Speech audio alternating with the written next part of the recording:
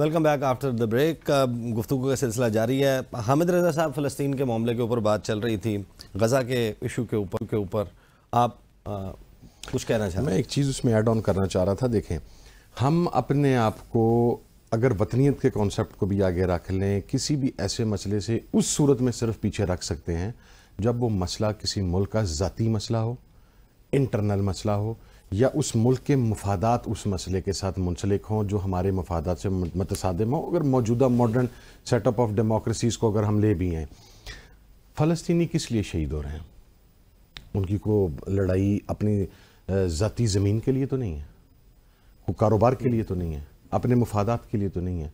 वो किबला अव्वल के तहफ़ के लिए शहीद हो रहे हैं। और किबला अव्वल का तहफ़ दुनिया के हर साहिब ईमान मुसलमान के ऊपर वाजिब है हम्म। हमें उनकी इस हम मैं, मैं तो ये समझता हूँ कि वो फ़लस्तनी जो शहदा हैं जो वहाँ के गाजी हैं वो आलम इस्लाम के मुँह के ऊपर हमारे आलम इस्लाम के मुँह हुक्मरानों के मुँह के ऊपर रोज़ हज़ारों की तादाद में अपने कंडक्ट के साथ तमांचे रसीद कर रहे हैं कि उस कबला अव्वल की हिफाजत जो माल इसबाब वसाइल तुम्हारे पास थे जिसकी ज़िम्मेदारी तहफ़ करना तुम्हारी भी उतनी ज़िम्मेदारी है जितनी हमारी ज़िम्मेदारी है। लेकिन हम अपनी औलाद भी कम कुर्बान कर रहे हैं, हम अपने ख़ानदान कुर्बान कर रहे हैं, हम अपना हसब नसब कुर्बान कर रहे हैं, हम अपनी जायदादें कुर्बान कर रहे हैं, हम अपने ख़ानदानों का वजूद ख़त्म करवा रहे हैं। इस चीज़ के बावजूद कि हम कसम पुरसी की हालत के अंदर हमारे पास कोई चीज़ नहीं है। और ए मुस्लिम दुनिया के हुक्मरानों, तुम्हारे पास हर चीज़ है। तुम्हारे पास दौलत है, तुम्हारे पास शोहरत है, तुम्हारे पास इकतदार है तुम्हारे पास फौज है तुम्हारे पास असला है तुम्हारे पास state of the art weapon है लेकिन किबला अव्वल की आज़ादी के ऊपर तुम इफ्स एंड बट्स का शिकार हो। ये किया तो ये हो जाएगा ये किया तो ये हो जाएगा। मैं ये समझता हूँ कि आलम इस्लाम और मुझे तो बाज़ात लिटरली इस चीज़ की समझ नहीं आती कि चलें जो आलम इस्लाम के अवाम है वो तो फ़लस्तीन के साथ खड़े हैं। बेचारे अपनी कैपेसिटी के अंदर तो, तो एहतजाज कर रहे हैं उनके साथ खड़े हैं। मुझे ये समझ नहीं आती कि इनको मौत भूल चुकी है। ये नहीं सोचते कि मरने के बाद कब्र के अंदर और अगले जहान में हमसे पूछा जाएगा कि जब हज़ारों फ़लस्तीनियों के जिसम काटे जा रहे थे, मासूम बच्चों को शहीद किया जा रहा था, औरतों को शहीद किया जा रहा था, उनकी आबरू रेजी की जा रही थी, उनके ऊपर जानवर, कुत्ते छोड़े जा रहे थे छः छः साल की मासूम बच्चियों के ऊपर तो अब बदबख्तो, तुम उस वक्त कहाँ पर थे? तुम्हें इकतदार दिया था अल्लाह पाक ने। यही फलसफा हुसैन का इनकार है एक्चुअल ग्राउंड के ऊपर। कि आप यजीद की फ़िक्र के आगे सरेंडर ना करें? आप यजीद के हमनवा बन जाएँ। आज की इस्लामिक दुनिया के हुक्मरान इल्ला माशा एक दो को निकाल के ये यजीद की फ़िक्र के हमनवा हैं। ये वो ब्रुटैलिटी का जो चैप्टर लिखा जा रहा है मॉडर्न हिस्ट्री के अंदर, ये उसके अंदर आज के यजीद लिखे जाएँगे। और मैं पाकिस्तान के किरदार के ऊपर जितना अफसोस मुझे हुआ, कौमी असम्बली के अंदर हमने कहा कि जी आप ज्वाइंट रेजोल्यूशन लेके आए ज्वाइंट रेजोल्यूशन में हम क्या चाह रहे थे? हम्म। हम ये चाह रहे थे कि वहाँ पर हम इसराइल को कंडेम करते हुए फौरी जंगबंदी करते हुए इसराइल के साथ ये कहें कि दीगर इस्लामी ममालक सफारती ताल्लुक को मुनक़ करें। हुकूमत ने कहा ना ना ना ना फ़लस्तनी शहीद हो रहे हैं। हम उनके लिए दुआ मगफरत करेंगे। अच्छा अभी ये हमारी दुआ मगफरत के मोहताज हैं वो। जिन्होंने अपना सब कुछ कुर्बान कर दिया। हम उनकी दुआ के मोहताज हैं अपनी मगफरत के लिए। वो हमारी दुआ मगफरत के मोहताज नहीं है। वो शहीद हैं। वो, वो किबला अव्वल की आज़ादी के लिए शहीद हो रहे हैं। हम हम अगर को अपना फेल करके उनके दिल में अपनी जगह बना सके और उनसे को दुआ ले सके अपने लिए, वो दुआ हमारी निजात का वसीला बनेगी। हमारी दी दुआ उनकी निजात का वसीला नहीं है। उन्होंने जो कुर्बानी दे दी है और वो जो कुर्बानी मुसलसल दिए चले जा रहे हैं, ये तारीख में सुनारे हरूफ से लिखी जा चुकी है। लेकिन हुकूमत ने कहा, इसराइल की मजम्मत हम नहीं कर सकते। मुझे आज की रियासत पाकिस्तान के मौजूदा गजा बहरान के अंदर कंडक्ट के ऊपर अफसोस है। हम अपने आप को हमेशा डिफ्रेंशिएट करते थे हम अपने आप को सुपीरियर समझते थे इसराइल के मामले के ऊपर। हम दीगर इस्लामी ममालिक से बहुत ऊपर हैं हमारा एक्ट बहुत ऊपर है। हम जनाब उनको रिस्पॉन्ड का आप देख रहे हैं इमरान खान साहब के टाइम के ऊपर। कितने दिनों के अंदर जंग बंदी हुई थी?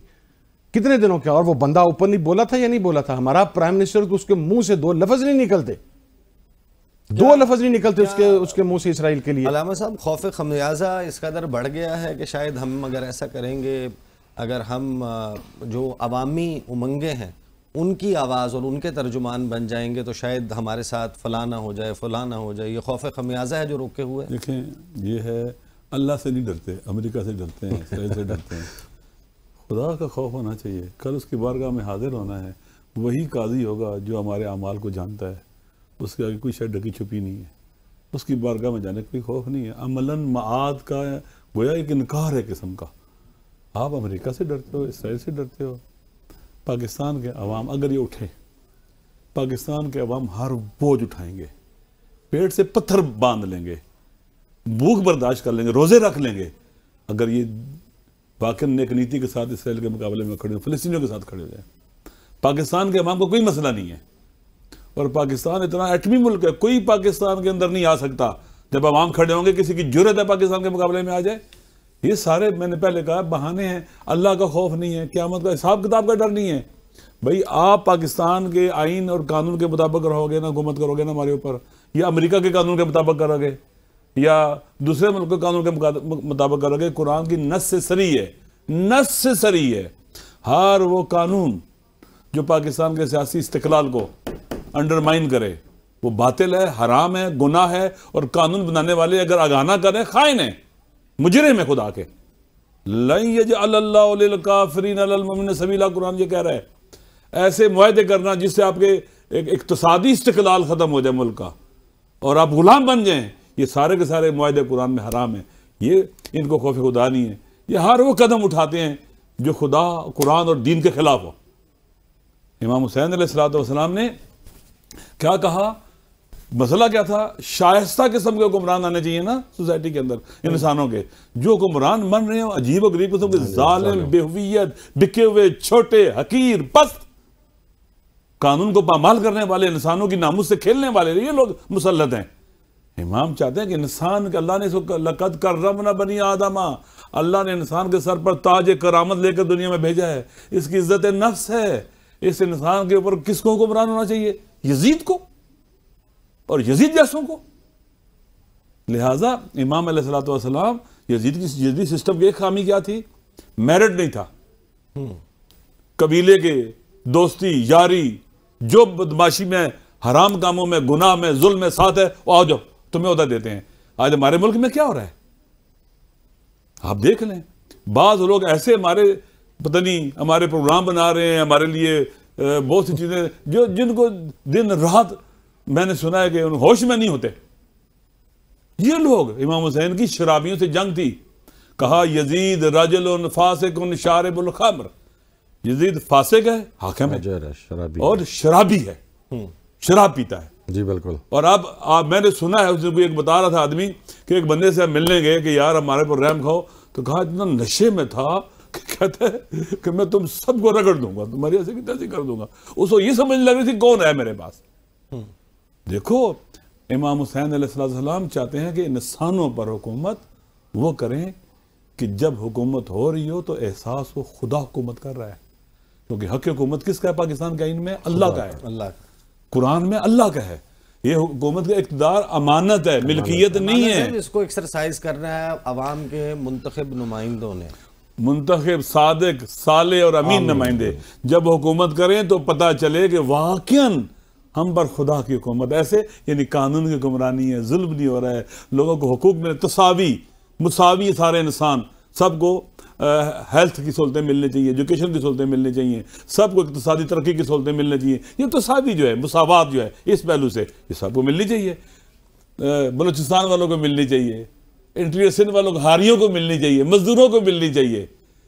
पिस्से हुए कुचले हुए तबके को मुसावी है सारे के सारे। एक बेगुना इंसान का कत्ल, वो हारी कत्ल हो, या एक जनरल कत्ल हो, या एक बहुत बड़ा आलिम कत्ल हो, खुदा कहते हैं सारे इंसान कत्ल में सब सबकी ज़िंदगी और जान मुसावी है। अल्लाह की निगाह में। लिहाजा, तसावी है हुकूक के अंदर। सबके मुसावी हुकूक हैं, उनको मिलने चाहिए। अदल होना चाहिए, इंसाफ होना चाहिए। कानून के सामने सब क्या है? मुसावी हैं। एक गरीब बंदे ने कानून तोड़ा है। ट्रैफ़िक की रेड रेड क्रॉस की है, या मालदार ने प्राइम मिनिस्टर ने की है। सारे जवाब दे हैं। सही।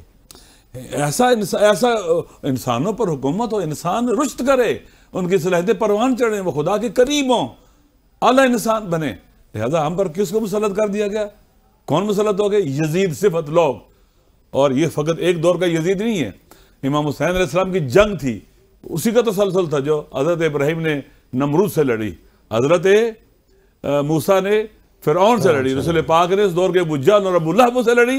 और इमाम हुसैन सलाम ने यजीद से लड़ी आज के यजीद से भी हमारी लड़ाई है जिनमें ये खसूसियात और सिफात हों जो मैंने बयान की हैं। हमारे हमारे पाकिस्तान का सिस्टम इस वक्त चेंज होगा जब हम हुसैनी फ़िक्र के साथ तफक्र के साथ हम हुकूमत करेंगे मैदान में उतरेंगे वो वही खुदाई तफक्र है। वो अल्लाह के नबी की सोच और फ़िक्र है और वही आइडियालॉजी है। सही आखिरी बस अब वक्त जो है वो कम रह गया। अगर आप इसराइल को रोकना चाहते हैं और उस जंग को ख़त्म करना चाहते हैं गजा में होने वाले जुल्म को पाँच ममालिक सऊदी अरेबिया पाकिस्तान ईरान तुर्की इजिप्ट।